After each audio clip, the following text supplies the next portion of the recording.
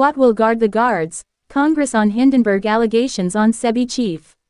Congress urged the central government to address conflict of interest within SEBI after Hindenburg research accused SEBI chairperson Madhabi bunch of undisclosed stakes in offshore funds tied to the Adani Group. Hi guys now you are watching WWN 24 hours this news credit was goes to Times of India. India Times.